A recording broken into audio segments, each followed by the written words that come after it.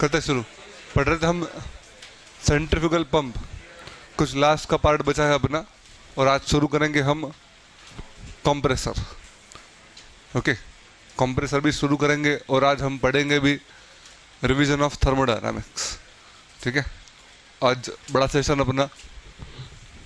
लिखते हैं। थोड़ा जो बाकी है सेंट्रीफ्यूगल पंप का पार्ट वो लिखते पहले। कुछ थेरी पार्ट बचा है। न्यूमेरिकल अपने हो चुके। एक ग्राफ वाला सम अपने किया था लास्ट लेक्चर है ना? और वो ग्राफ वाला सम मैं तुमको बोला था कि वो सम एग्ज़ाम में 2010 के बाद आज तक कभी नहीं आया। ओके? ग्राफ वाला सम। फिर भी करके रखा एक सम। और एक सम चाहिए तो तुम बुक में से देख के कर लेना। एक जजमेंट रहेगा फिर भी कि ग्राफ आया तो करना क्या है। ओके? वो सम क्लियर था ना उस दिन? बराबर ना? एक सिस्टम का ग्राफ बनाया था और एक पंप का बनाया था। जहाँ पे दोनों इंटरसेक्ट हो गए, वो उसका ऑपरेटिंग पॉइंट होगा। वहाँ से हमने एच सिलेक्ट किया और वहाँ से हमने क्यू सिलेक्ट किया। याद आया कुछ? याद आया ना? कुछ छोटा मोटा टॉपिक बाकी था पंप का अपना, वो लिखेंगे।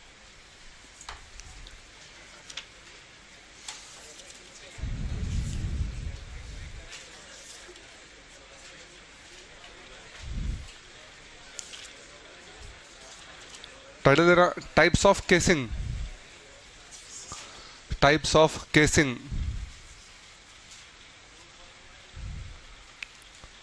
types of casing casing का पार्ट सिर्फ़ नाम लिखवा रहा हूँ। जो इंपॉर्टेंट पार्ट है वर्किंग ऑफ़ पंप वो लिखेंगे अपन। अगर तुमको याद अपन ने कैविटेशन पढ़ा था टरबाइन में, है ना? सेम कैविटेशन होता है in case of pump okay तो वो लिखवा नहीं रहा मैं तुमसे। तो टरबाइन का भी कैविटेशन एग्ज़ाम में आया हुआ है और पंप का भी कैविटेशन एग्ज़ाम में आया हुआ है। दोनों में आया सेम मैटर सेम लिखना है फिर से। ओके कुछ भी चेंज नहीं करना, कुछ भी चेंज नहीं। क्लियर है? ठीक? लिखते हैं types of casing the main purpose of casing are the main purpose of casing are, first to guide the water to guide the water to and from impeller to and from impeller. Second to convert kinetic energy into to convert kinetic energy into pressure energy. To convert kinetic energy into pressure energy.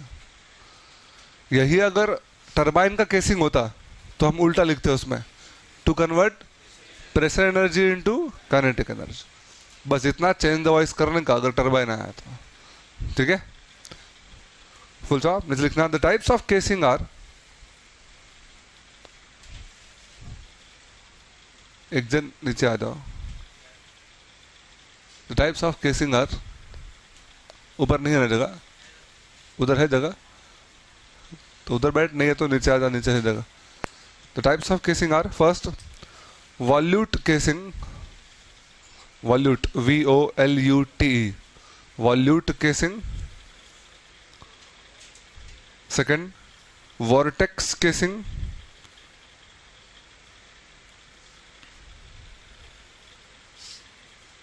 and third casing with guide blade. Casing with guide blade.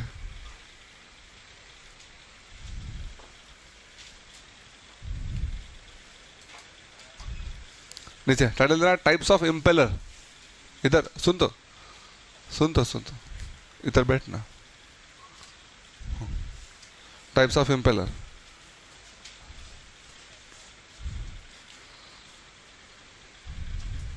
लिखते हैं उसमें।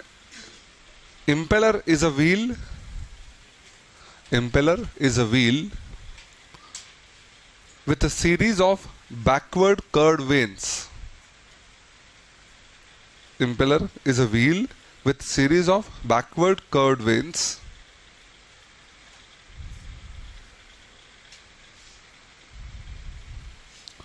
full stop. The types of impellers are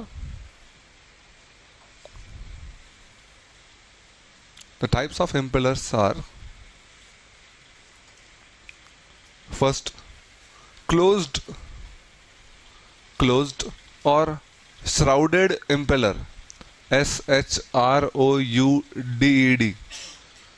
Closed or shrouded impeller. Second semi open impeller. Semi open impeller. And third open impeller.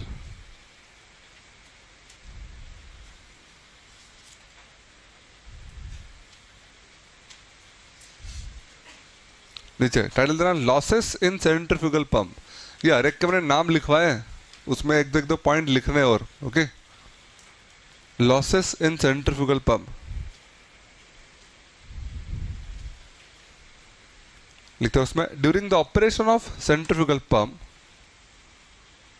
during the operation of centrifugal pump the following losses takes place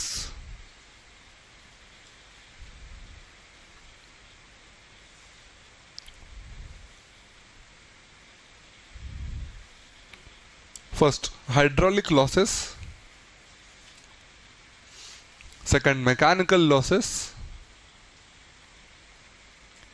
and third leakage losses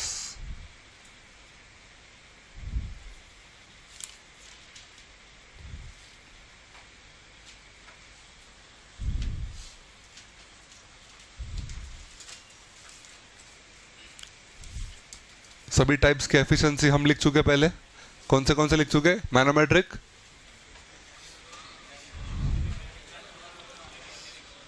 manometric hydraulic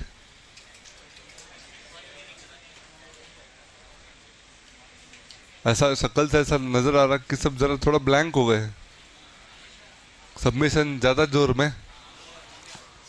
तो कुछ नज़र नहीं आ रहा और कुछ याद भी नहीं आ रहा लगता है ना?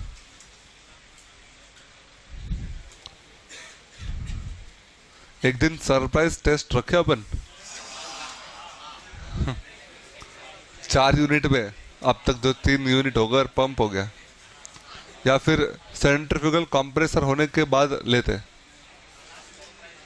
नहीं, सच बोलता हूँ, टर्बो के लिए टेस्ट दे दो। क्यों पता है टर्बो में टर्बो में एक्सपीरियंस लेना ज़रूरी है। कि एक साथ अगर सभी चैप्टर आए, अभी तक सिर्फ़ टर्बाइन दिया तुमने। एक साथ टर्बाइन पंप कंप्रेसर आया तो क्या तकलीफ़ होता है? वो समझ में आएगा सही है ना? इसलिए ज़रा सा दे देना। इट्स बेटर आगे तुम्हारी मर्ज़ी।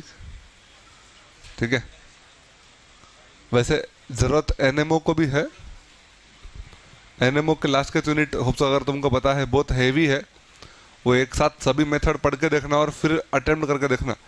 कैसे ब्लैंक हो जाते हैं, तभी तुमको समझ में आएगा। ओके ट्राई करके देखो। या अगर टेस्ट वगैरह नहीं देना है तो सिंपल सभी चैप्टर अगर पढ़ के हो गए, अगर हो गए, ठीक, सभी चैप्टर सभी मेथड अगर पढ़ के हो गए तो डी अगर है तुम्हारे पास, कोई भी एक पेपर उठा लो रैंडमली और टाइम सेट कर लो कि ढाई घंटे में अपना कोई पूरा पेपर सॉल्व करना है एंड ट्राई करना। ठीक है? इनसेम वाले चैप्टर भी और एंड सेम वाले भी। सबके आंसर अंदर मिलेंगे ही तुमको।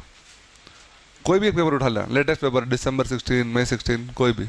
एंड ट्राई करना। ठीक है? नॉट ओनली फॉर ये तीन सब्जेक्ट एम पी टू क्यों ना हो? मेगाट्रॉनिक्स अटेम्प्ट करो ऐसा। तुमको समझ में आएगा अपना लोड कैरिंग कैपेसिटी कितना है। और वहाँ, वहीं पे अगर फेलियर हो रहा है तो सुधारने को चांस मिलेगा। नहीं तो बाद में सुधार नहीं पाओगे। डायरेक्ट दिसंबर में। ठीक है? एक महीना पढ़ लो, नहीं तो और आठ महीना पढ़ना पड़ेगा। Okay it's up to you clear है? मतलब बराबर आठ महीने बाद दिसंबर रहेगा, तभी दो एग्ज़ाम या तो अभी दे दो। खत्म। कोई प्रॉब्लम नहीं। ओके लिखते हैं। कई लोगों का कुछ बाकी है, शायद एस टी वगैरह वगैरह, जो भी है। कब से शुरू है एग्ज़ाम चार तारीख? दो। हो गया लेस देन वन मंथ है मतलब अभी। Batsman under pressure now okay IPL शुरू हो गए working of centrifugal pump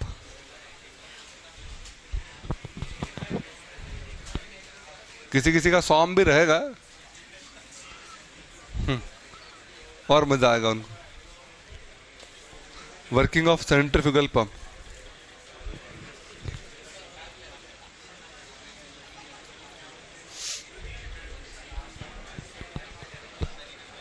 centrifugal pump लिखते हैं उसमें। Centrifugal pump works on the principle that centrifugal pump works on the principle that when certain mass of fluid when certain mass of fluid is rotated when certain mass of fluid is rotated by external source comma it is thrown away it is thrown away from the axis of rotation.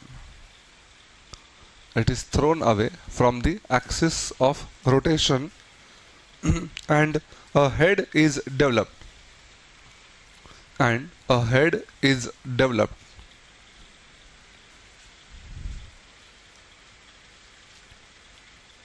full stop this enables it this enables it to rise to a high level this enables it to rise to a high level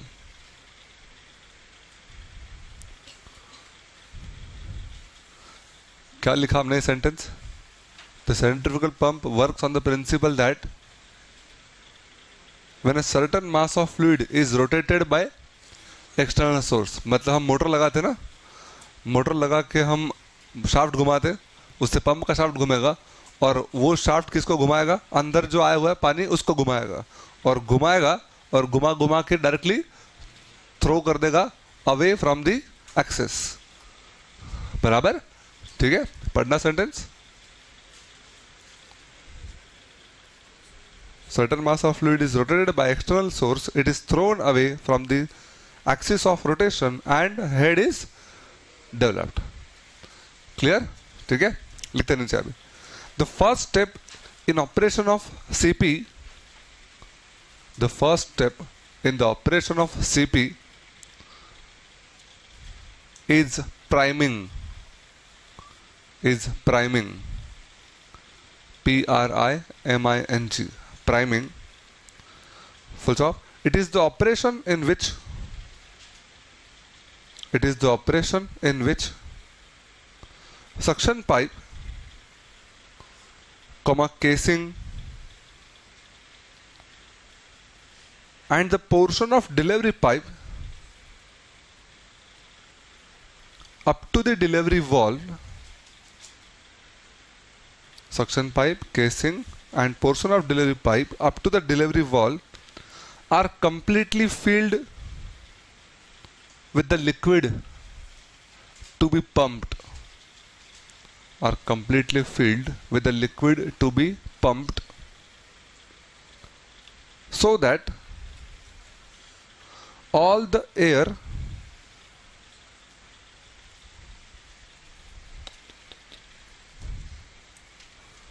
so that all the air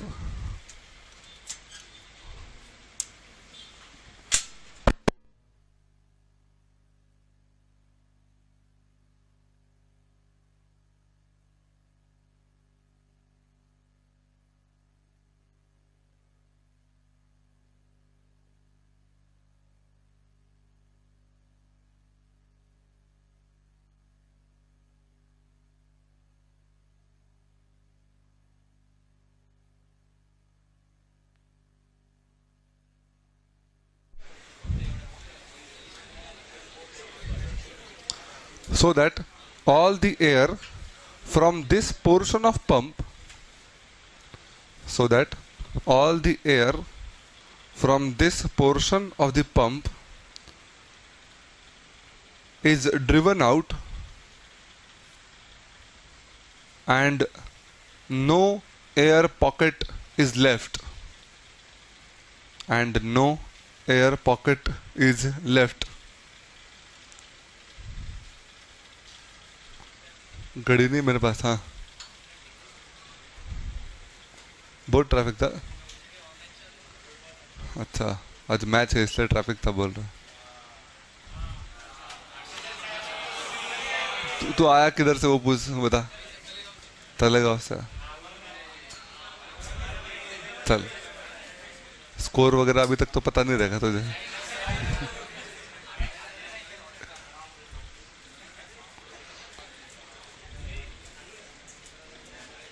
इसलिए आज कम लोग है, जरा।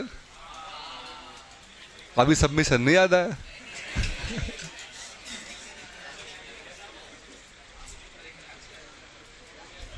पढ़ते पहला sentence क्या लिखा? The first step the first step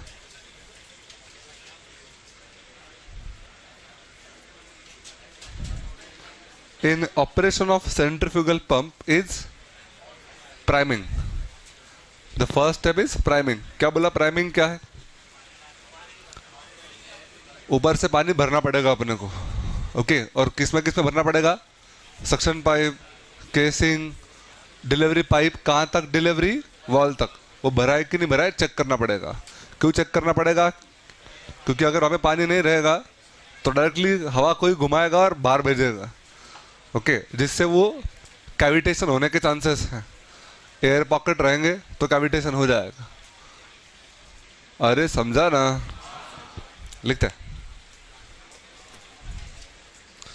after the pump is primed after the pump is primed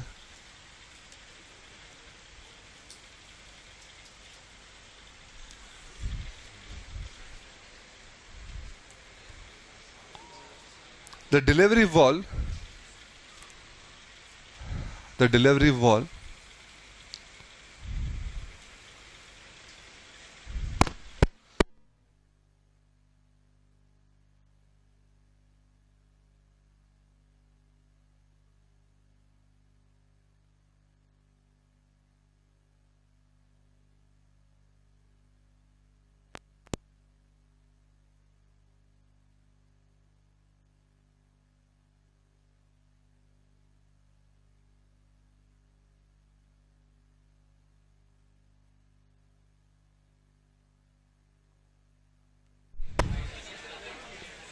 After the pump is primed, the delivery valve is still closed.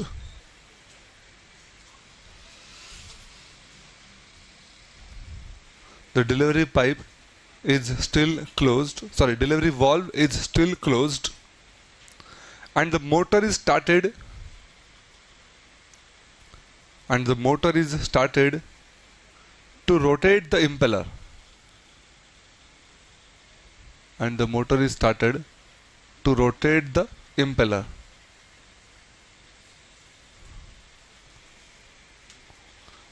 Full stop. The rotation of impeller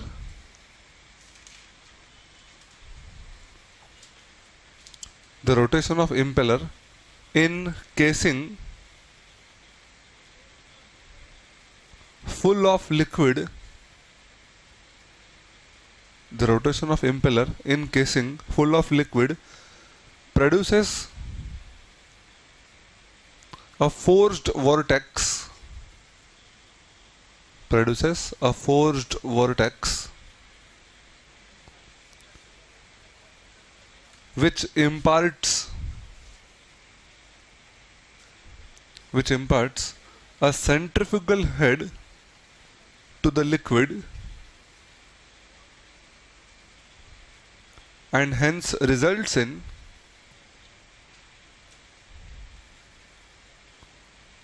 increase of pressure.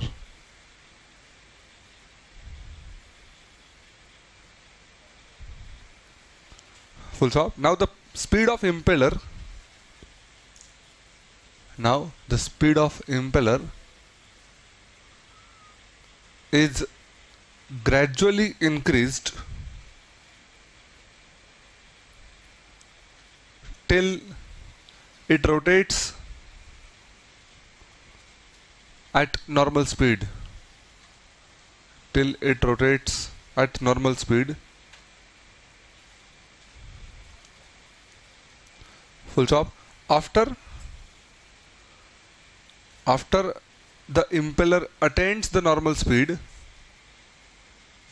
after the impeller attains the normal speed after the impeller attains the normal speed the delivery valve is opened the delivery valve is opened full stop. At the eye of impeller at the eye of impeller due to centrifugal action at the eye of impeller due to centrifugal action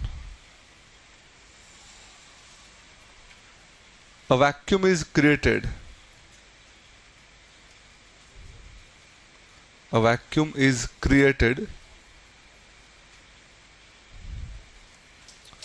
Full stop. This causes the liquid. This causes the liquid from sump. This causes the liquid from sump which is at atmospheric pressure which is at atmospheric pressure comma to flow through the suction pipe to the eye of impeller. To flow through the suction pipe to the eye of impeller full stop. This liquid is this liquid is impelled out. I m p e l l e d. Impelled out by rotating the vanes by rotating vanes by rotating vanes and it comes out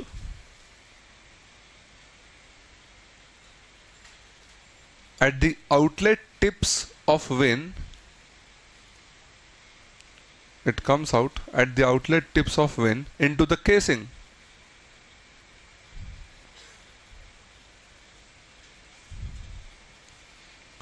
Full stop. Due to impeller action due to impeller action the pressure head and velocity head the pressure head and velocity head of liquid are increased.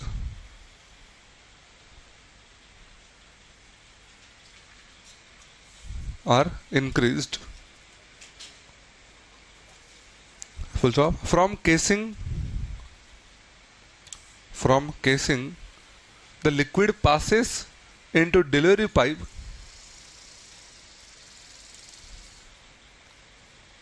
from casing the liquid passes into delivery pipe and lifted to required height. Lifted to required height. Full stop. Before stopping the pump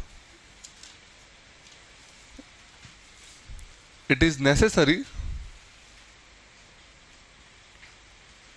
before stopping the pump it is necessary to close the delivery valve otherwise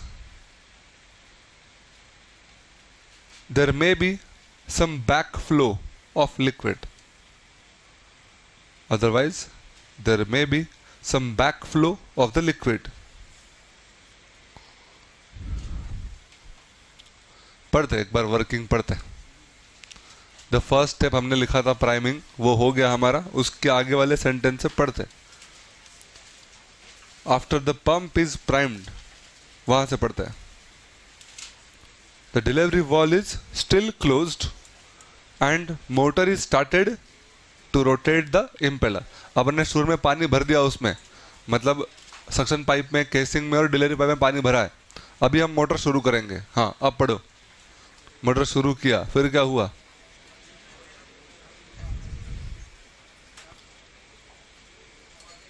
Electric motor started to rotate the impeller impeller घूमना शुरू हुआ। The rotation of impeller in the casing full of liquid produces force vortex which impart centrifugal head to the liquid and result in increase of pressure आगे।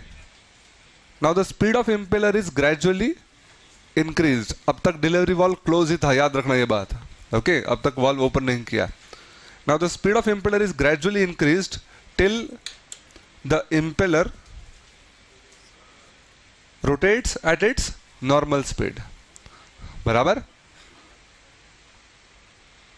after the impeller attend normal speed आप delivery valve open कर देंगे okay at the eye of impeller due to centrifugal action जैसे कि जो पानी उसमें पहले था, उसने उसको घुमा दिया था घुमा कर से डिलीवरी वॉल खोल दिया। अब जो उसने घुमाया हुआ पानी है, वो उस पानी को बाहर फेंक देगा। और जैसे उसने उस पानी को बाहर फेंक दिया इम्पेलर के आय पे क्या होगा? वैक्यूम क्रिएट होगा। और ड्यू टू दैट वैक्यूम जो पानी संप में एटमॉस्फेरिक प्रेशर पे है, वो पानी अंदर की तरफ़ एंटर करेगा। Liquid flow from high pressure to low pressure अब वैक्यूम क्रिएट हो गया अंदर आय पे। और बाहर जो प्रेशर है सम पे, वो क्या है? एटमॉस्फेरिक प्रेशर वो अंदर वाले वैक्यूम से क्या है? ज़्यादा प्रेशर पे है। तो लिक्विड ट्रेवल करेगा from high pressure to low pressure वो अंदर सक हो जाएगा। वो जैसे सक हो गया वो उसको भी घुमाना शुरू कर देगा। वो घुमाते घुमाते उसको भी बाहर फेंक देगा एंड साइकिल कंटिन्यूस ओके जैसे अपन वो आ, पेट्रोल के जो टू व्हीलर का टंकी है उसमें से अगर पेट्रोल निकाल रहे तो अपन जस्ट कई बार देखो लोग शुरू में सक करते पहले और फिर छोड़ देते। तो पेट्रोल आना शुरू हो जाता है। ओके वापस उसको सक नहीं करना पड़ता। बराबर तो एक बार उसने वो वैक्यूम क्रिएट करके पानी सक कर लिया तो एक बार वो प्रोसेस शुरू हो गया वो कंटिन्यू रहेगा क्या बोला समझा ठीक है पढ़ना भी फिर से The delivery valve is opened at the eye of impeller due to centrifugal action. A vacuum is created. This causes the liquid from sump, which is at atmospheric pressure, to flow through the suction pipe to the eye of impeller. This liquid is impelled out by rotating vanes and it comes out at outlet tips. Due to impeller action, the pressure head as well as pressure head and velocity head of liquid are increased. From casing, liquid passes into delivery pipe and lifted to required height. Working clear ना देखो chapter का नाम सेंट्रिकल pump था सेंट्रिकल pump का working समझना ज़रूरी है okay वो वर्किंग कभी आया हो ना आया हो that is not important important कि हमको चैप्टर से कुछ समझा कि नहीं समझा सही बात है ना ठीक टरबाइन पढ़ा सम सॉल्व किया, लेकिन टरबाइन क्या वो तो समझ में आया ना सबको? समझ में आया ना? ठीक? लिखते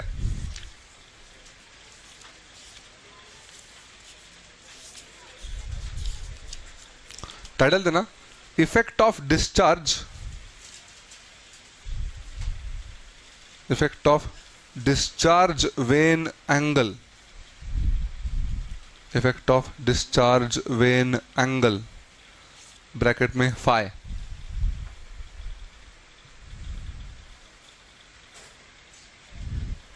लिखते उसमें we know that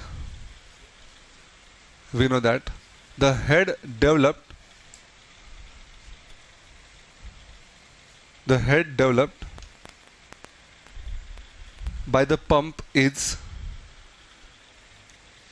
the head developed by the pump is h equal to h equal to Vw2 u2 by G, यही था ना? V W two U two by G.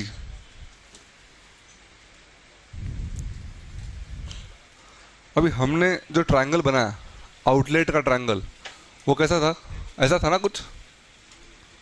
ये ऐसा वाला? ये कौन था? वी एफ़ टू ये वी आर टू ये?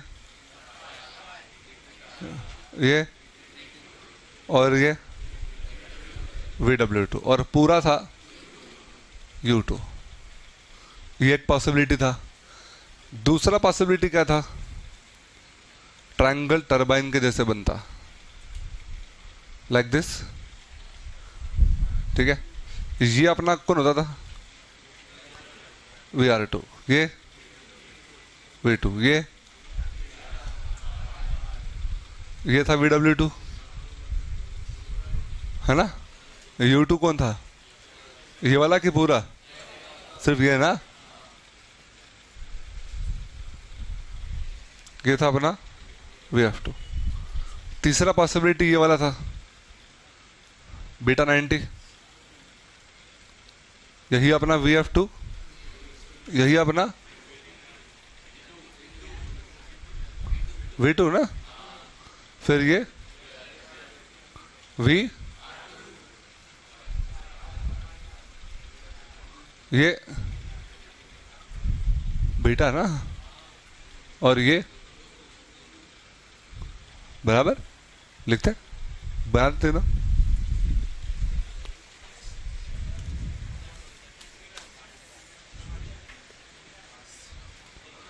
ऐसा ऊपर लिखना। Figure shows figure shows three possibilities three possibilities of outlet velocity triangle three possibilities of outlet velocity triangle for pump full stop नीचे लिखना the vein shapes the vein shapes may be backward may be backward bracket में phi less than 90 phi less than 90 comma radial bracket में phi equal to 90 और forward five greater than 90 five greater than 90 अब ध्यान से समझो कि ये जो हमने बनाया, वो कैसे गलत बनाया ठीक है? ध्यान से समझो। ये हमने पंप के लिए बनाया। पंप का आउटलेट ऐसा ही था ना हमारा? और पंप का इनलेट कैसा था? ऐसा था ना? ये अल्फ़ा नाइन्टी था? ये थीटा था? ये कौन था? वी आर वन ये अपना वी एफ़ वन मतलब वी वन था? ये अपना यू वन था। हम पंप में बोलते हैं कि वी डब्ल्यू वन हमेशा क्या होता है? ज़ीरो तो ये तो अपना आउटलेट ट्रायंगल सभी एग्ज़ाम्पल में था। बराबर? अब ये दो ट्रायंगल ये दो ट्रायंगल एक्चुअल में टर्बाइन के हिसाब से बना है, ना कि पंप के हिसाब से। पंप में हम बोल रहे हैं फाइव हो सकता है less than 90 five equal to 90 and five greater than 90 तुम अगर तीनों केस देखो, तीनों में तुमको लेस देन 90 नज़र आ रहा है फाइव बराबर? वहाँ पे पंप के टरबाइन में हम बीटा एंगल पे ज़्यादा फोकस करते थे। हमने बीटा के तीन केस देखे हैं। Beta less than 90 beta greater than 90 और इक्वल टू 90 लेकिन पंप में क्या है? फाइव ओके तो अपना काम इस पे फोकस करना है। ये तो अपना स्टैंडर्ड ट्रायंगल था। और ये कौन सा केस हुआ? फाइव लेस देन नाइनटी तो हमको चाहिए फाइव ग्रेटर देन अगर मैंने ये लिया ना ये तो पंप चलेगा ही नहीं। क्यों नहीं चलेगा? क्योंकि अगर ये लिया, इस ट्रायंगल के हिसाब से वी डब्ल्यू टू ज़ीरो है ना? है कि नहीं है? वी डब्ल्यू टू मतलब क्या? एब्सोल्यूट वेलोसिटी का एक्स कंपोनेंट एब्सोल्यूट वेलोसिटी तो वर्टिकल हो गया। तो उसका X component zero manometric head क्या है? V W two U two by G ना? वी डब्ल्यू टू ही ज़ीरो तो वी डब्ल्यू वन तो ज़ीरो रहता ही है। वी डब्ल्यू टू भी ज़ीरो खेली खत्म। क्लियर ठीक है? तो ये ट्रायंगल नहीं चलेगा। ये ट्रायंगल था किसका? टर्बाइन का। ये याद रखना।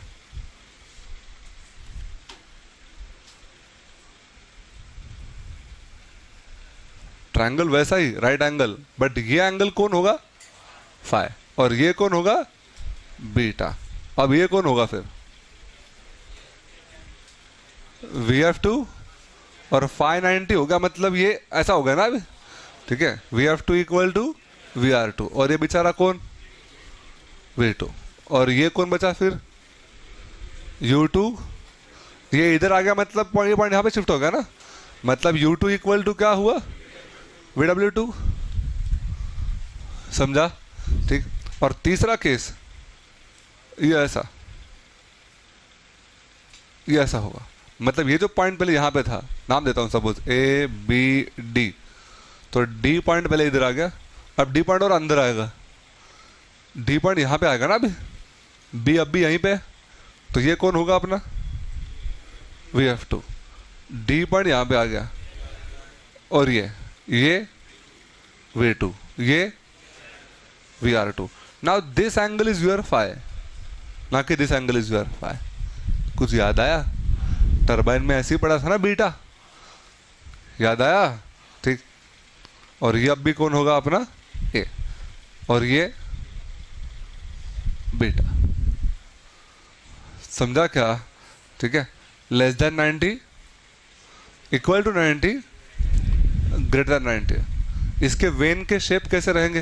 हमने जब पंप ड्रॉ किया है, इसको हमने बोला था बैकवर्ड कर्ड वेन्स मतलब ऐसा ड्रॉ किया था ना, याद है? ठीक है? 590 मतलब रेडियल वेन्स रेडियल वेन्स मतलब वर्टिकल हो जाएँगे वो. हाँ? ठीक? और फाइव ग्रेटर 90 मतलब ये फॉरवर्ड वेन्स हो जाएँगे. मतलब इसका टोटली अपोजिट ये शेप ऐसा हो जाएगा अभी? समझा क्या? ठीक है? ऐसे वेन को बोलते हैं बैकवर्ड कर्व्स रेडियल वेन्स और ये फॉरवर्ड कर्व्ड वेन्स क्लियर ठीक? बनाते हैं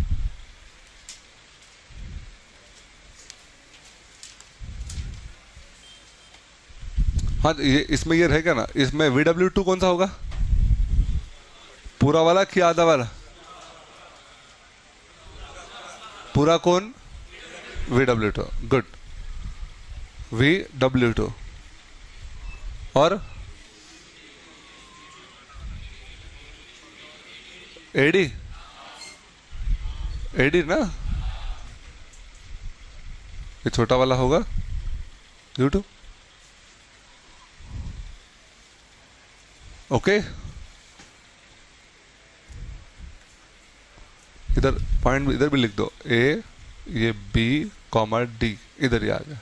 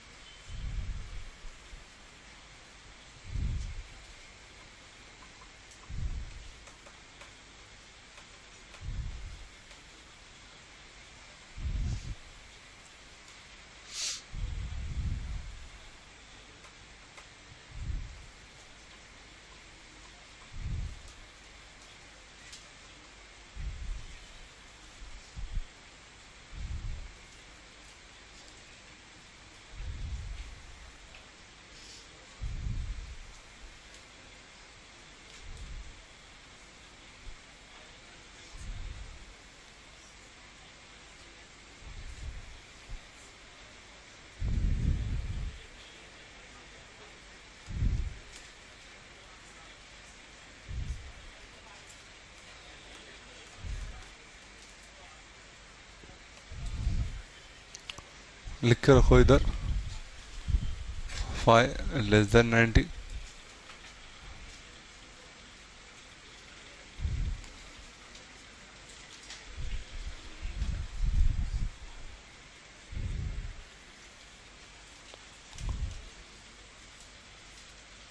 तो यहाँ पे भी लिख कर रखो। Backward radial and forward backward radial forward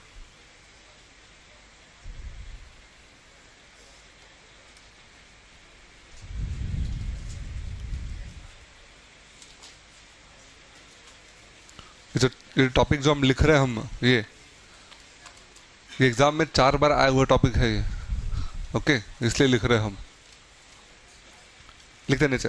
From figure from figure one मतलब पहला जो स्टैंडर्ड ट्रायंगल है अपना, उसकी बात कर रहे हैं हम। From figure one V W two equal to A D minus B D V W two equal to A D minus B D equal to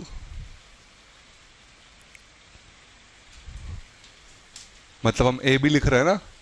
A B will be A D minus B D A D मतलब कौन? U two minus B D मतलब ये x है ना? तो x क्या लिखेंगे अपन यहाँ से? अगर हम टैन फाइव लगा ले टैन फाइव क्या होता अपना?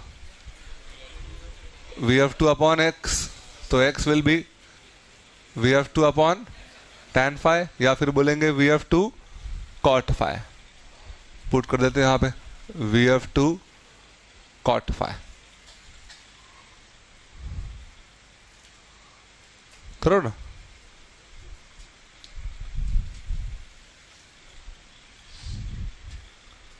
और अब ये वैल्यू किसका मिला मुझे? ए बी का। और ए बी मतलब कौन है? ए बी मतलब वी डब्ल्यू टू अब ये वी डब्ल्यू टू का वैल्यू उठा के अच्छे से हम पुट करेंगे एच के इक्वेशन में। यहाँ पे। देयरफॉर एच इक्वल टू मिला U two minus V F two cot phi into U two by G multiply कर देते अंदर, ये हुआ U two square by G minus V F two U two cot phi by G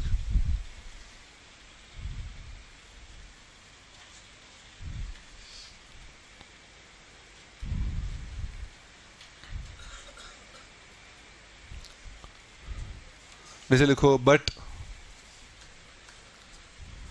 हुआ क्या यहाँ तक?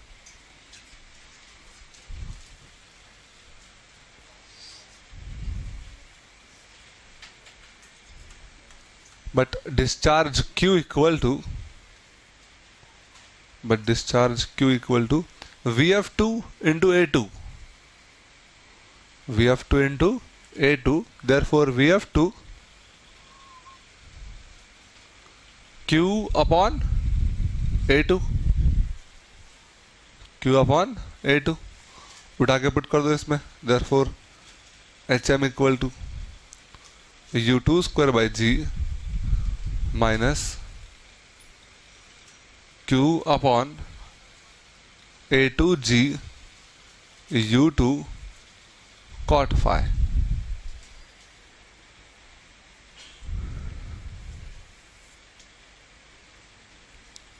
लिखते उसमें। At a given speed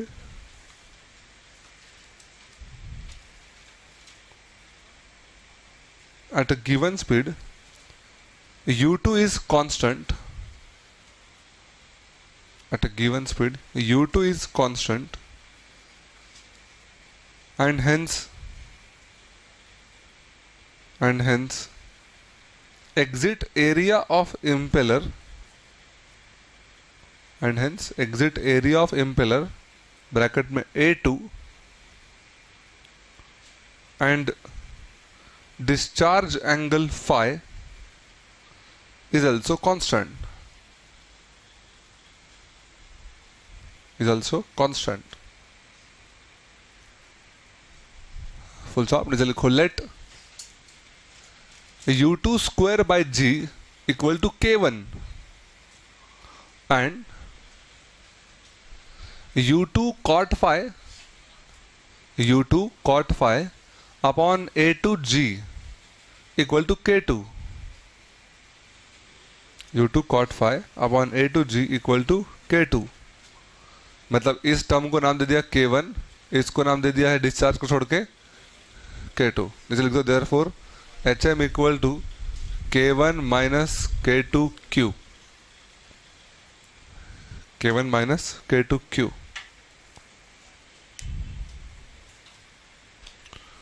नीचे लिखो अभी.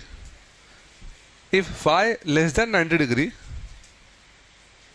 if phi less than 90 degree the value of cot phi is positive. The value of cot phi is positive and hence k2 is positive. If phi is positive the value of cot phi is positive and hence k2 is positive. Full stop. Due to this due to this the value of HM decreases with increase in discharge. With increase in discharge. Full stop. It means it means there is reduction in work done it means there is reduction in work done by using backward vanes there is reduction in work done using backward vanes full stop नीचे लिखो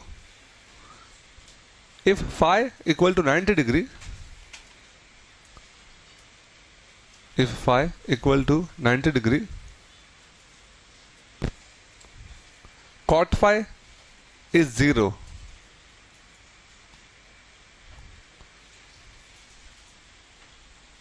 hence k2 also 0 hence k2 also 0 full stop. It means hm equal to k1 that is constant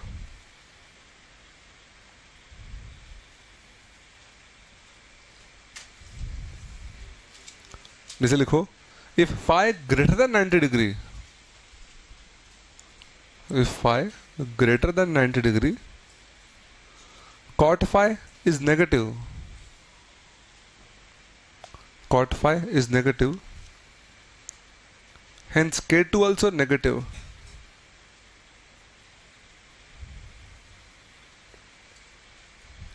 it means H M increases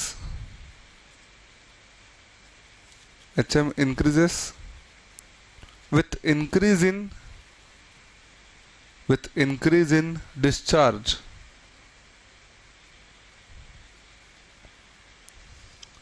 Full stop. But V2 is also increased which causes which causes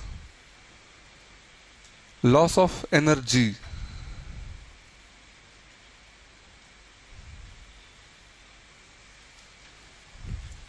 मतलब अगर हम इन तीनों case का अब अगर graph बनाए, यहाँ पे डिस्चार्ज और यहाँ पे एच एम तो ये इक्वेशन को देख के क्या समझता है कि अगर ये क्यू क्यू का वैल्यू इस पर डिपेंड करेगा के टू पे, और के टू डिपेंड करेगा कॉट फाइव पे। अगर फाइव लेस देन नाइन्टी होगा तो टेन लेस देन नाइन्टी तो पॉजिटिव होता है। ये पॉजिटिव रहेगा, ये कॉट फाइव पॉजिटिव रहेगा मतलब K two positive K two positive मतलब के वन में से हमेशा सब्ट्रैक्ट ही होगा। बराबर? मतलब वैल्यू ऑफ़ एच एम हमेशा के वन से क्या होगा? कम ही आएगा। के वन से हमेशा कम आएगा। अगर फाइव नाइन्टी डिग्री हो गया tan ninety is infinity cot ninety zero ये टर्म ज़ीरो मतलब बचा क्या सिर्फ़? के वन तो के वन मान लो अप्रोक्सीमेटली यहाँ पे कहीं तो है. दैट इज़ कॉन्स्टेंट ओके और जब पहला केस था, जब phi less than ninety degree तो ये वैल्यू क्या होगा? सब ये वैल्यू क्या होगा इसमें से? सब्ट्रैक्ट होगा. मतलब ये ग्राफ हमेशा के वन से कम ही आएगा. मतलब ऐसा होगा? ओके और जब फाइव ग्रेटर देन नाइन्टी होगा, तब ये पॉजिटिव आएगा। सॉरी, ये नेगेटिव आएगा। ये नेगेटिव आएगा मतलब ये इसमें ऐड हो जाएगा। तो ये वैल्यू के वन से हमेशा ज़्यादा ही आएगा। This height is this height is K one समझा क्या? ओके बनाते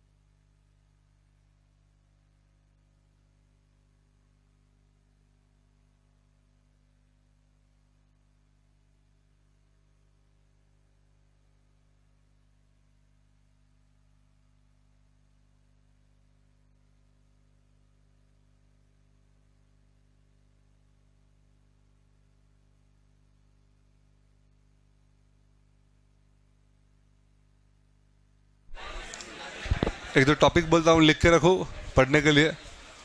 पंप के। पंप के एक दो टॉपिक बोलता हूँ, लिख के रखो। First cavitation cavitation in centrifugal pump cavitation in centrifugal pump second NPSH capital N P S H bracket में net positive suction head net positive suction head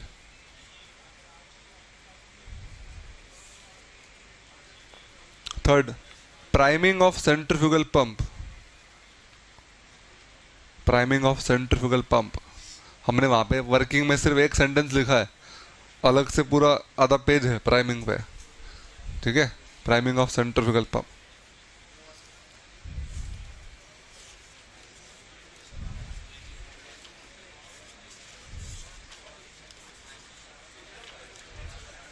Characteristics of centrifugal pump.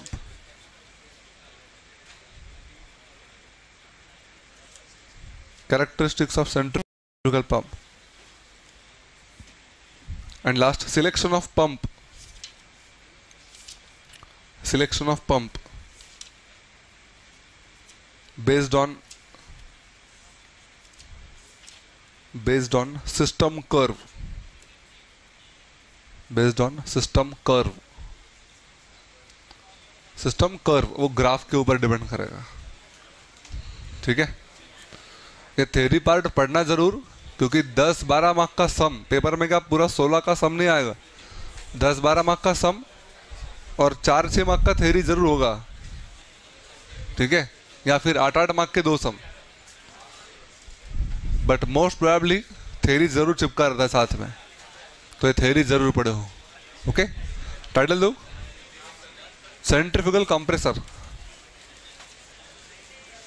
Title दो। Centrifugal compressor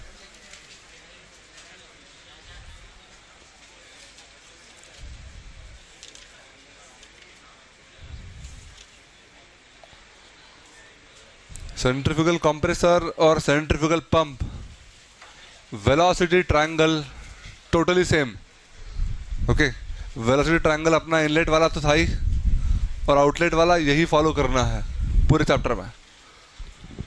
और इसके बाद जो chapter आएगा, वो थोड़ा तकलीफ़ देगा axial compressor centrifugal compressor is better than axial compressor ठीक है? लेकिन तकलीफ़ ये, इन दोनों यूनिट में पहले भी तुमको बोला मैंने ट्रायंगल भी है और थर्मोडायनामिक्स भी है। Okay?